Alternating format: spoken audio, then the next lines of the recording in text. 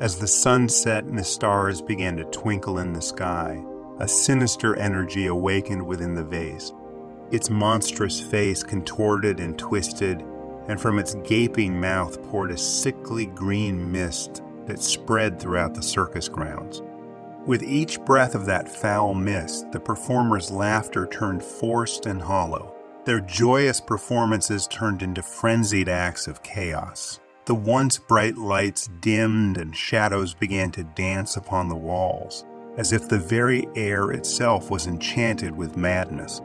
Jesters who were once known for their hearty chuckles and infectious giggles now wore pained expressions, their eyes gleaming with an eerie light.